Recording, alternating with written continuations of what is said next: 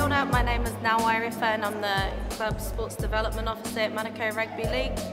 Very happy to be a part of the Sober Driver Sorted program and very happy with what the message entails for our community of Mangere. One of the education tools we use around the Sober Driver Sorted campaign are the Fatal Vision goggles. We find them a really good teaching tool, they're great for educating people. They're also a lot of fun, so we're careful how we use them.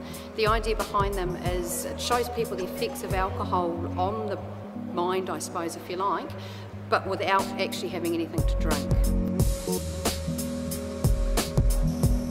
I mean, Lee's got a bit of a drinking culture, so it's always good to, um, I guess, educate people and you know, make sure we've always got a sober driver. I thought it was pretty easy until I put them on and just change your perspective of you're actually drunk.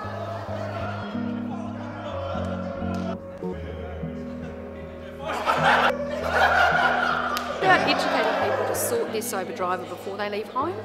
So Auckland Transport have put together a Facebook page um, that says Make It Home and part of that is the Sober Driver Sorted game. And the idea behind it is you go onto your Facebook page, you must be 18 or over by the way to play the game, that's our recommendation. Um, and you go on and you pick your four friends that you want to go out with, you hit spin and it randomly selects you a sober driver for the night.